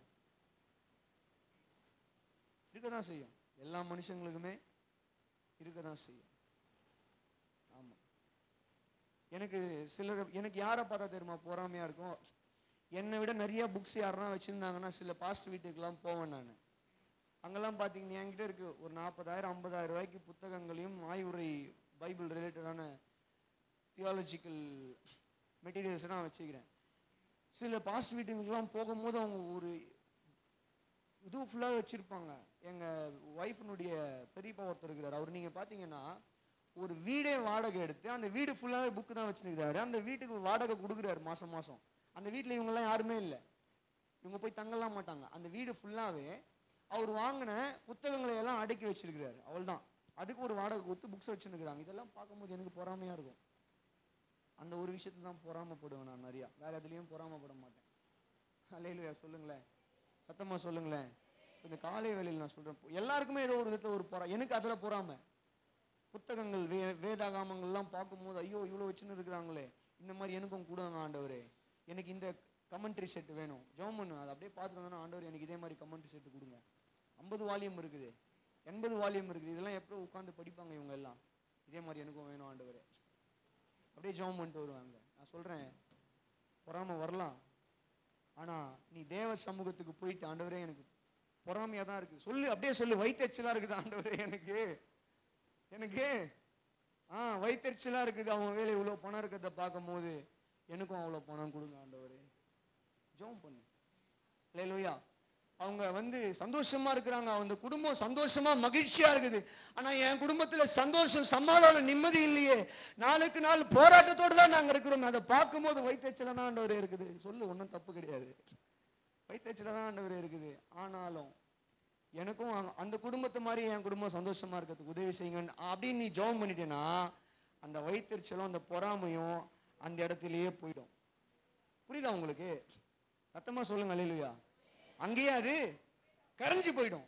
அது பாவமா கருதப்படாது. ஏன்னா நம்ம அதை அறிக்கையிட்டோம்ல சொல்லிடுறோம்ல ஆண்டவர் கிட்ட அதுக்கப்புறம் ஆண்டவர் அதுக்குரிய பலத்தை கொடுப்பாரு. அந்த வயிற்றுச்சல் அடங்குறதுக்கான பலனை கொடுப்பாரு. அந்த பொறாமை அடங்குறதுக்கான பலனை கொடுப்பாரு. நம்மையும் ஆஸ்வதிப்பார். சத்தமா சொல்லுங்களேன். அப்ப சத்தமா சொல்லுங்களேன். நல்லா சத்தமா தான் சொல்லுங்களேன். உங்க உண்மை நிலையை தேவனிடத்துல என்ன பண்ணுங்க? ஒத்துக்கோங்க. அதுதான் பரலோகத்தை அசைக்கிற ஜபம். அமேன் அலையலூயா கத்தர் நல்லவராக இருக்கிறார். ஆமேன். இயேசு நல்லவர். நான்லாம் அப்படி ஜெபம் பண்ணியிருக்கேன். நீங்கள் சிரிப்பீங்க. எப்படின்னு கேட்டீங்கன்னா என் ஃப்ரெண்டெல்லாம் கல்யாணம் பண்ணுவானுங்க கூப்பிடுவானுங்க போய் பார்த்துட்டு வருவேன். ஆண்டவரே அவனுக்கு அழகான ஒய்ஃப் கிடச்சிட்டா. அவனுக்கு என் கூடவே தான் சுற்றி நின்னான் மச்சான் மச்சான்னு சொல்லிட்டு. அழகாக ஒரு பொண்ணு அவனுக்கு மனைவியாக கிடச்சிச்சு பார்க்கறதுக்கு வயிற்றுச்சலா இருக்குது. எனக்கும் அழகான ஒரு பொண்ணு மனைவியாக கொடுங்க ஆண்டவரே. ஜோம் நான் அதெல்லாம் ஜோம் பண்ணேன். ஏன்னா எனக்கு நீ ஏதாவது ஏடாகூடமா பண்ணிட்டேன்னா சிரிப்பானுங்க இவனுங்க எல்லாம் என்னை பார்த்து. தயவு செஞ்சு எனக்கும் என்ன பண்ணுங்க? கொடுங்க. அலையிலோயா கத்திர எனக்கு அழகான மனைவியை கொடுத்துருக்குறாரு. ஆமேன்னு சொல்லுங்களேன். அலையிலூயா அப்போ அந்த பொறாமை எல்லாம் அந்த வைத்தறிச்சல் எல்லாம் ஜபத்தில் அங்கே அப்படியே என்னவா மாறிடும்? போயிடும் அப்படியே டிசால்வ் ஆயிடும். அந்த பாவம் பாவமா கருதப்படாது. அது கரைஞ்சி போயிடும். அலையிலியா சொல்லுங்க. நாலாவது இந்த நெகைமையை எப்படி ஜெபம் பண்ணலாம்? பார்க்கலாமா? இன்னும் ரெண்டே குறிப்பு தான். அஞ்சு நாலு அஞ்சு சொல்லிட்டு நான் முடிச்சிடறேன் உங்களுக்கு பிரயோஜனமா இருக்கும். நெகைமையா ஒன்றாவது அதிகாரம் எட்டாவது வசனத்துல இருந்து பத்தாவது வசனம் வரைக்கும் வாசிக்கலாம். நீங்கள் என் கட்டளையை மீறினால் நான் உங்களை ஜாதிகளுக்குள்ளே சிதறடிப்பேன் என்றும் நீங்கள் என்னிடத்தில் திரும்பி என் கற்பனைகளை கைக்கொண்டு அவைகளின்படி செய்வீர்களானால் உங்களில் தள்ளுண்டு போனவர்கள் வானத்தின் கடையாந்திரத்தில் இருந்தாலும் நான் அங்கே இருந்து அவர்களை சேர்த்து என் நாமம் விளங்கும்படி நான் தெரிந்து கொண்ட ஸ்தனத்துக்கு அவர்களை கொண்டு வருவேன் என்றும் தேவரீர் உம்முடைய தாசனாகிய மோசைக்கு கட்டளையிட்ட வார்த்தையை நினைத்தருளும். தேவரீர் உமது மகா வல்லமையினாலும் பலத்த கருத்தினாலும் மீட்டு கொண்ட உமது அடியாரும் உம்முடைய ஜனங்களும் இவர்கள் தானே என்ன ஜோம் வந்தாருன்னு சொல்லி கேட்டீங்கன்னா நாலாவது குறிப்பு. நீங்க குறிப்பு வயசா எழுதுறவங்களா தான் இந்த குறிப்பு எழுதிக்கோங்க. தேவனின் சித்தத்திற்கு ஏற்ப ஜெபம். தேவனின் சித்தத்திற்கு ஏற்புடைய ஜெபம். Prayer was in line with God's will hallelujah என்ன ஜெபம் பண்றாருன்னு சொல்லி கேட்டீங்கன்னா அதை சொல்லி ஜெபம் பண்ணார் ஆண்டவரே நீங்க என்ன சொல்லியிருக்கிறீங்க பாவம் பண்ணா உன்னை அந்நிய தேசத்திற்கு அடிமையா ஒப்பு கொடுத்துருவேன் அப்படின்னு சொன்னீங்க. அதே மாதிரி எங்களுடைய முற்பிதாக்கள் பாவம் பண்ணாங்க கெட்டவர்களா நடந்தாங்க மோசையின் பிரமாணத்தை மீறிட்டாங்க. அதனால எங்களை என்ன பண்ணிட்டீங்கன்னா எழுபது வருஷம் பாபிலோனின் அடிமைத்தனத்துக்கு எங்களை ஒப்பு கொடுத்துட்டீங்க. புரியுதா? இப்ப இந்த ஜனங்க ஆண்டவர் மோசகிட்ட என்ன சொன்னார்னா இஸ்ரேல் ஜனங்க என்னை தேடாமல் பாவ வழியில நடப்பார்லையானால் அவர்களை மறுபடியும் என்ன பண்ணுவேன்? சிறையிருப்பு அனுப்பிடுவேன். வேற ஒரு தேசத்தான் இவர்களை என்ன பண்ணுவான்? ஆளுவான். இதுதான் தேவன் இஸ்ரவேலர்களுக்கு கொடுத்த மிக முக்கியமான காரியம். ஆனா அதுவே அவங்க மனம் திரும்பிட்டாங்கன்னா அவன் இந்த உலகத்துல எங்க இருந்தாலும் சரி அவனை மறுபடியும் எருசலேமுக்கு கொண்டு வந்து கட்டுவேன். புரியுதா உங்களுக்கு? பாவம் பண்ணான்னா இவனை இங்கிருந்து துரத்திடுவேன்.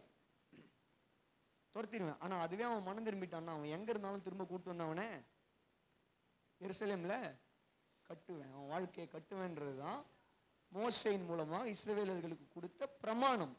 இதெல்லாம் எங்க இருக்கு? குறிக்கிறவங்க நீங்க குறிச்சிக்கலாம். யுபாகாமம் நான்காவது அதிகாரத்தின் இருபத்தி ஐந்துல இருந்து முப்பத்தி ஓராவது வசனம் வரைக்கும். அப்புறம் உபாகாமம் முப்பது முப்பதாவது அதிகாரத்தின் நான்காவது வசனத்துல இருந்து பத்தாவது வசனம் வரைக்கும். சரியா? கவனிங்க. அப்போ நெகேமியா இந்த பாயிண்ட பிடிச்சிட்டாரு. என்ன பாயிண்ட் ஆண்டவரே பாவம் பண்ணா எங்களை தேசத்தை விட்டு துரத்துவேன்னு சொன்னீங்க. அதே மாதிரி துரத்திட்டீங்க. இப்போ எங்க ஜனங்க திருந்திட்டாங்க. அவங்கள மறுபடியும் கூப்பிட்டு வந்தீங்க. சேர்த்துட்டீங்க. ஆனா அவங்க மகா தீங்கு அனுபவிக்கிறாங்களே. அவங்கள நீங்க இன்னும் கட்டி எழுப்பணுமே. கட்டி எழுப்புங்கப்பா. அதானே உங்க சித்தம். அதானே நீங்க கொடுத்துருக்கிற வாக்கு தத்துவம் அதுதானே உங்களுடைய பிரமாணம். அலையிலியா சொல்லுங்க. கவனிக்கிறீங்களா? கவனிக்கிறவங்க ஒரு அழிலியா சொல்லுங்க. சத்தமா சொல்லுங்களேன். அப்போ நெகேமியா ஜெபம் எப்படிப்பட்ட ஜபமா இருந்ததுன்னா தேவனுடைய சித்தத்திற்கு ஏற்ப ஜெபித்தான். தேவ சித்தம் என்ன? ஜனங்க மனம் திரும்பிட்டாங்கன்னா வானத்தின் கடையாந்திரத்துல எங்க இருந்தா அந்த வானம் எங்கெல்லாம் போதும் அவன் எந்த மூலையில இருந்தாலும் அவனை மறுபடியும் கொண்டு வந்து எருசலேம்ல கட்டி எழுப்புன்றதுதான் தேவ சித்தம். இப்போ எல்லாரையும் கொண்டு வந்துட்டீங்க. அவங்கள நீங்க கட்டி எழுப்பணும் ஆண்டவரே. அவங்கள நீங்க கட்டி எழுப்பணும் ஆண்டவரே. கட்டி எழுப்புங்கப்பா. எங்க தேசம் கட்டி எழுப்பப்படணும். அதானே உங்களுடைய சித்தம். அதற்காக இந்த நிகைமையா ஜெபித்தான். அல்லையா சொல்லுங்களேன். அப்ப நம்ம ஜெபிக்கும் போது ஒன்றியவான் ஐந்தாவது அதிகாரத்தின் பதினான்காவது வசனத்தை வாசிச்சு பாருங்க. ஒன்னியவான் ஐந்து பதினான்கு. வாசித்து பார்ப்பீர்களானால் நாம் எதையாகிலும் புதிய ஏற்பாட்டில் பக்கம் முன்னூத்தி முப்பது அவருடைய சித்தத்தின்படி கேட்டால் அவர் நமக்கு செவி கொடுக்கிறார் என்பதே அவரை பற்றி நாம் கொண்டிருக்கிற தைரியம். அப்ப கவனிங்க நாம் எதையாகிலும் அவருடைய சித்தத்தின்படி கேட்டால் அவர் நமக்கு என்ன பண்றாரு? பதில் கொடுக்கிறார். அப்ப நம்முடைய ஜெபம் எப்படிப்பட்ட ஜெபமா இருக்கணும்? தேவனுக்கு விருப்பமானதை தேவனுடைய சித்தத்திற்கு ஏற்புடையதான ஜபமா இருக்கணும். அல்லேலூயா தேவ சித்தம் இல்லாத காரியங்களுக்கெல்லாம் என்ன பண்ணக்கூடாது? ஜெபிக்க கூடாது தேவ சித்தம் உள்ள காரியங்களுக்காக தான் ஜெபிக்கணும். அல்லேலூயா சொல்லுங்க.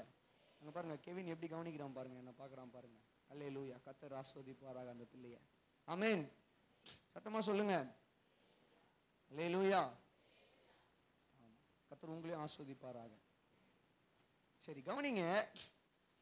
ஒரு ஜெபம் தேவனுடைய சித்தத்திற்கு ஏற்புடைய ஜெபமா இருக்குமேயானால் அந்த ஜெபத்துக்கு ஈஸியா பதில் கிடைச்சிடும் லேலூயா அதான் இங்க யோவானும் எழுதுறாரு. நெகேமியாவும் அதான் பண்றாரு. நம்ம எதையாகிலும் அவருடைய சித்தத்தின்படி கேட்டா அவர் நமக்கு என்ன பண்றாரு? தராரு. பதில் கொடு. அப்ப சித்தம் இல்லாததை கேட்டா தேவனுக்கு சித்தம் இல்லாததை கேட்டா அது கொடுக்க மாட்டாரு. ஏன்னா அதுக்கு தேவ சித்தம் இல்லையே.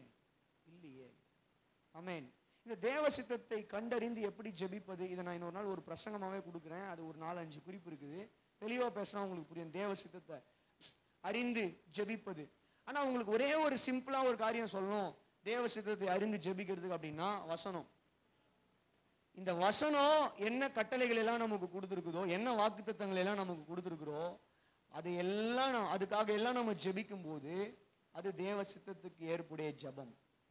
மீன் அமேன் இந்த வசனம் சொல்லுது என்ன சொல்லுது? உன்னை நேசிப்பது போல பிறனையும் நேசி ஆண்டவரே பிறனை நேசிக்கிறதுக்கான பலனை எனக்கு தாங்க. நான் அவனை நேசிக்கிறதுக்கு எனக்கு உதவி செய்யுங்க. அவன் எனக்கு துரோகம் பண்ணிட்டான். ஆனாலும் அவனுக்கு நான் உதவி செய்யறதுக்கு எனக்கு அது தேவ சித்தம் உள்ள ஜெபம். இப்போ அவன் எனக்கு துரோகம் பண்ணிட்டான். அவன் சாகணும் ஆண்டவரே. அவன் சாகணும். இன்றைக்கு இன்றைக்கு இன்றைக்கு இன்றைக்கு இயேசு நாமத்தில் இயேசு நாம அடிப்பீராக அவன். அதெல்லாம் தேவ சித்தம் கிடையாது.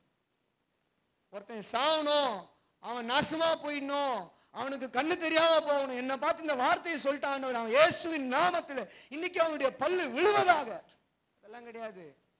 ஆண்டவர் என்ன சொன்னாருன்னா உனக்கு ஒரு கணத்தில் அடிக்கிறவனுக்கும் அப்படின்னா என்ன அர்த்தம்னா உன்னை சபிக்கிறவங்களையும் ஆஸ்வதின்னு சொன்ன தேவன் தான் நம்முடைய தேவன்.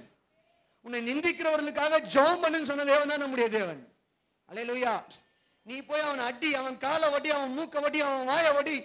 இதெல்லாம் ஜெபம் கிடையாது. இதெல்லாம் கத்தருக்கு பிரியமான ஜெபம் கிடையாதுமா அவன் சாகணும் அவன் நாசமா போயிடணும். அவன் பிள்ளைங்க வந்து அது வந்து வாழக்கூடாது. அப்படிப்பட்ட ஜெபங்கள்லாம் கத்தருக்கு பிரியமில்லாத காரியம். வேதத்துல தெளிவா நமக்கு சில காரியங்கள்லாம் கொடுக்கப்பட்டிருக்கிறது. என்ன கொடுக்கப்பட்டிருக்கிறது? மதுபானம் அல்லது பீடி சிகரெட்டு அல்லது வேற ஏதோ பாவமான காரியங்கள் விபச்சாரமோ வேசித்தனமோ இது எல்லாமே பாவம் பைபிள தெளிவா போட்டுக்குது இப்போ ஆண்டவரே இதை நான் செய்யட்டுமா வேணாவா? எனக்கு உங்களுடைய சித்தத்தை வெளிப்படுத்துங்க. என்னது? பீடி பிடிக்கிறதுக்கு. எனக்கு அந்த ஆசை வந்துடுச்சு நான் ஜெபம் பண்ணிட்டு ஆண்டவரே எனக்கு அந்த என்ன அந்த பாவம் உள்ள தூண்டுது ஆண்டவரே. ஒரு தடவை நான் செய்யட்டுமா வேணாவா? என்னை நீங்கள் ஏவுங்க என் கூட பேசுங்க. நீங்கள் பேசுங்க. நீங்கள் பேசிட்டீங்கன்னா நான் அதை நீங்கள் என்ன சொல்கிறீங்களோ நான் அதை செய்கிறேன் இப்போ எங்கே போவாங்க? அவர் பேசுறத கேட்கறதுக்கு எங்கே போவாங்க? கேலண்டருக்கு எங்கே போவாங்க? கேலண்டருக்கு கேலண்டரில் ஒரே ஒரு எச்சரிப்பின் வசனம் காட்டுங்க.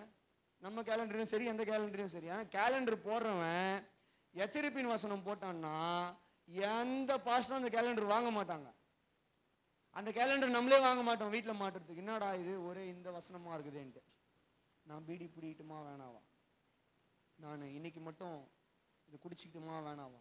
நான் இன்னைக்கு மட்டும் இந்த பாவத்தை போய் செஞ்சுக்கிட்டுமா வேணாம் ஆண்டவர் உங்களுடைய சித்தத்தை வெளிப்படுத்துங்க ஆண்டவர் அப்படின்னு நீ போய் கேலண்டர்ல பார்த்தேன்னா நீ போகும் இடமெல்லாம் உன் தேவனாகிய கர்த்தர் உன்னோட கூட வருகிறார் அப்போ நீ பீடி பிடிக்கிறதுக்கு போனால் உன் தேவனாகிய கர்த்தர் உன் கூட வருவார்னு எடுத்துக்க முடியுமா? அது தேவ சித்தம் ஆயிடுமா? சொல்லுங்க. அது தேவ சித்தம். அப்போ வேதம் நமக்கு இது தவறு இது பாவம்னு சொல்லிட்டு எதையெல்லாம் கேட்டகரைஸ் பண்ணி வச்சுட்டு இருக்குதோ அது அதுக்காகலாம் உட்காந்து ஜோம் பண்ணாதீங்க. ஆண்டவரே இது உங்களுக்கு சித்தமா வேணாவா? புரியுதா உங்களுக்கு? இது உங்களுக்கு சித்தமா வேணாவான்னு சொல்லி தேவன் எதையெல்லாம் பாவம் லிஸ்ட் போட்டு வச்சுட்டாரோ ஆண்டவரே இல்ல ஆண்டவரே அதை நம்ம திரும்ப ரீரைட் பண்ணுவோம். கிடையாது. அப்படி கிடையாது. திருமண காரியங்களை குறித்து நான் எச்சரிக்கை விடுறேன் பாருங்க. இன்றைக்கி நிறைய வாலிப பிள்ளைகள் பெண் பிள்ளைகள்லாம் இருக்கிறாங்க நம்முடைய சபையில. தேவ சித்தம் தெளிவா பைபிள்ல எழுதப்பட்டிருக்கிறது. நீதிக்கும் அநீதிக்கும் ஒளிக்கும் இருளுக்கும் ஐக்கியம் இல்லை. கிறிஸ்துவுக்கு பேலியாளுடனே கிடையாது. அப்புறம் போயிட்டு நீ என்ன பண்ணக்கூடாது? ஆண்டவரே மனம் திரும்பாத ஒரு பொண்ணை நான் கட்டிக்கணும். இது உமக்கு சித்தமா சித்தம் இல்லையா ஜெபம் பண்ணாத. ஏன்னா அது தேவ சித்தம் கிடையாது. பைபிளில் தெளிவாக போட்டுச்சு அது தேவ சித்தம் இல்லைன்னு. நீ போய் உக்காந்து நீ போய் ஆத்து மட்டாத வெளியில போற ஓனாவை பிடிச்சி எடுத்து வந்து வேட்டியில போட்டுக்கிட்டு குத்துதே கொடையுதே கடிக்குதே.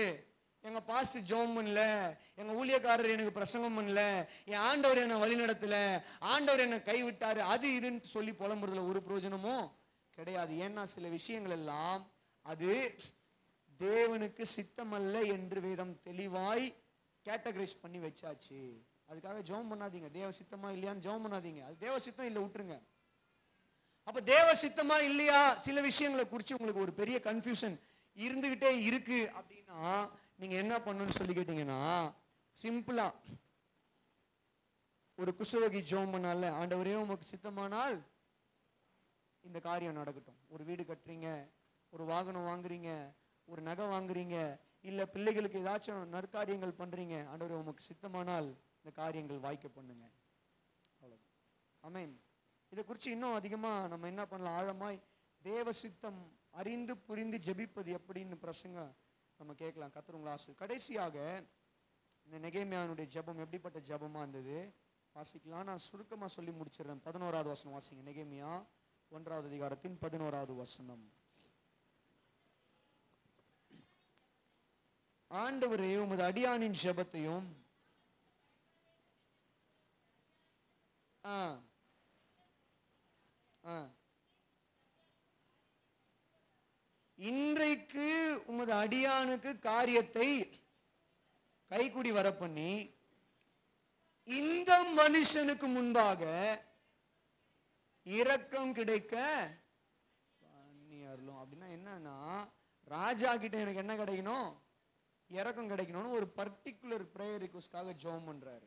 அமேன் ராஜா கிட்ட எனக்கு சொல்லுங்க இறக்கம் கிடைக்கணும்னு சொல்லிட்டு ஒரு பர்டிகுலர் ஸ்பெசிஃபிக் ப்ரேயர் ரிக்வஸ்ட்காக அப்போ ஐந்தாவது குறிப்பிட்ட காரியத்திற்காக ஜெபித்தல். குறிப்பிட்ட காரியத்துக்காக என்ன பண்ணோம்? ஜெபிக்கணும். இப்போ நான் சொன்னேன்னா உங்களுக்கு புரிஞ்சிடும் சிலர் ஜெபம் பண்ணுவாங்க.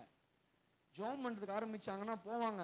சோத்துறோம் சோத்திரம் ஆண்டவர். சைனா லேப்ல வந்து என்ன பண்ணுகிறாங்கன்னா ஏதோ கொரோனா புது வைரஸ் கண்டுபிடிச்சுனுக்குறாங்களாம் அதை தடை பண்ண ஆண்டவர். அதை அதை இது பண்ண ஆண்டவர். அதுக்காக சோத்துறோம் ஆண்டவர். அதுக்காக நன்றி ஆண்டவர்.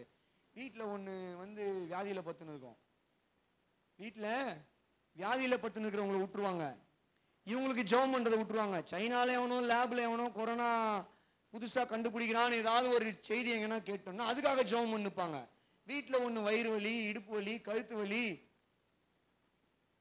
வீட்டில் கஷ்டம் சாப்பாடு இல்லை காசு இல்லை அதை கட்டணும் இஎம்ஐ கட்டணும் அதை கட்டணும் இது கட்டணும்னு இருப்பாங்க.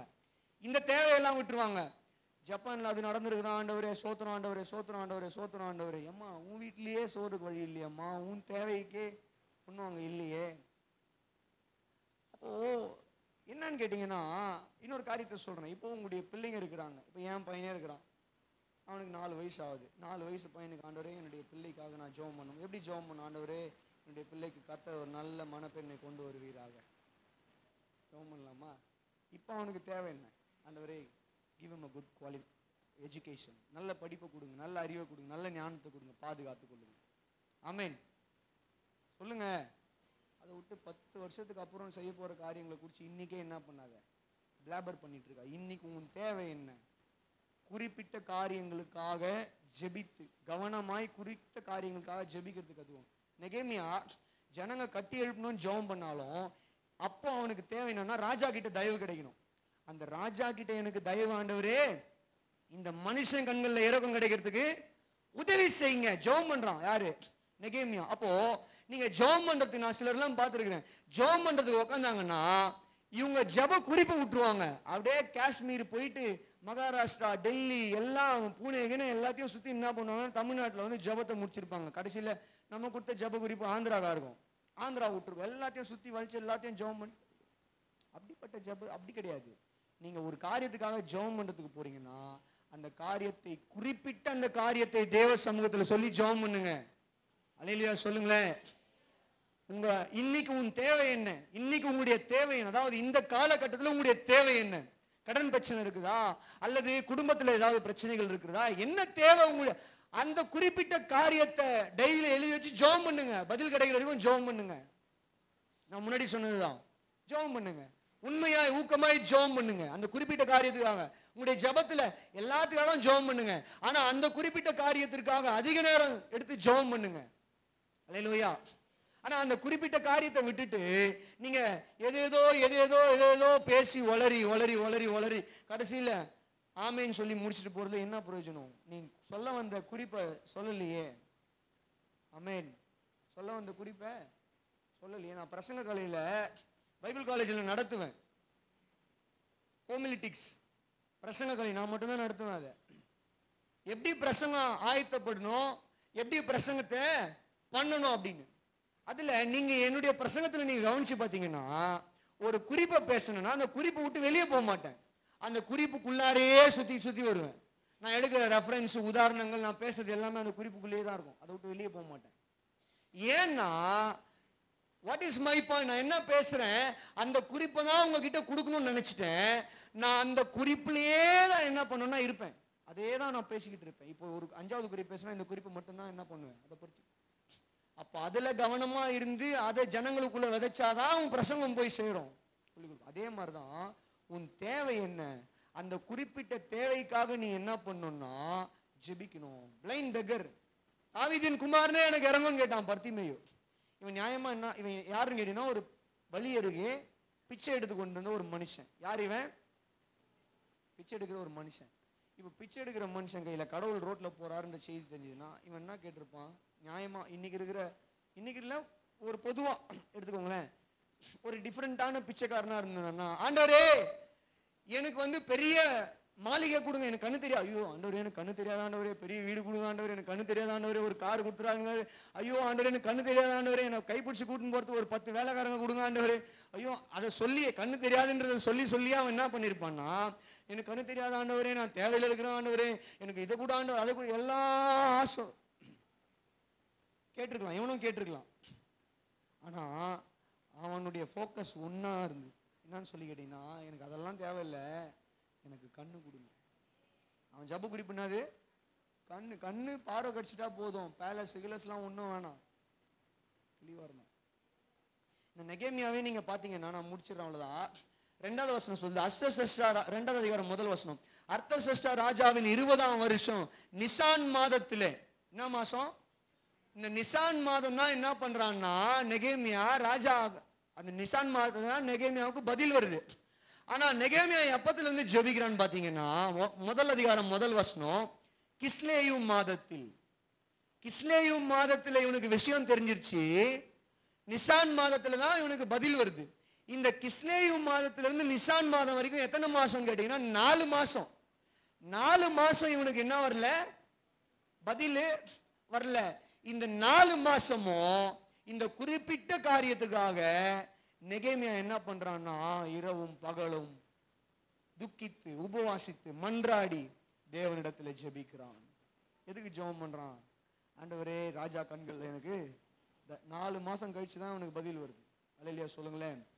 அப்ப இந்த காலை வேலையில நான் சொல்றேன் குறிப்பிட்ட காரியங்களுக்காக இன்னைக்கு உன் தேவை என்ன? இன்னைக்கு உங்களுடைய தேவை என்ன? அதை எழுதி வச்சு அதுக்காக ஜோம் பண்ணுங்க. அதை விட்டுட்டு பத்து வருஷம் இருபது வருஷத்துக்கு அப்புறம் உங்களுக்கு தேவை இருக்கு உங்களுடைய தேவைக்காக ஜோம் பண்ணாதீங்க. இன்னைக்கு தேவை என்ன? இன்னைக்கு உன்னுடைய அதாவது இந்த காலகட்டத்தில் இந்த மாதம் உன்னுடைய தேவை என்ன? அதற்காக ஜோம் பண்ணு. ஆண்டவர் சொல்லும் போது தான் நாலு தினத்தை குறித்து என்ன பண்ணாத? சொல்லுங்க என்ன பண்ணாத? நாலு தினத்தை குறித்து கவலைப்படாத. நாளைக்குரியதை கத்தர் என்ன பண்ணுவார்? பார்த்து கொள்ளுவார். சத்தமாக ஒரு அழிலியா சொல்லுங்க. ஆனால் நம்ம என்ன பண்ணுறோம் நாளை தினத்தை குறித்து தான் கவலைப்பட்டுக்கிட்டு உட்காந்துட்டு அப்படிப்பட்டவர்களாய் அல்ல. பிரியமானவர்களே குறிப்பிட்ட காரியங்களை என்ன பண்ணுங்கன்னா காரியத்துக்காக ஜெபிக்க கற்றுக்கொள்ளுங்க. இதெல்லாம் நம்முடைய ஜபத்துல இல்லாம நம்முடைய ஜெபம் அப்படியே எல்லாத்தையுமே கண்டதையும் போட்ட ஒரு ஜபமா இருக்கிறதுனால தான் அது வந்து என்னவா இருக்கிறதுலன்னு சொல்லி கேட்டீங்கன்னா ஆஸ்வதமா மாறுறது கிடையாது.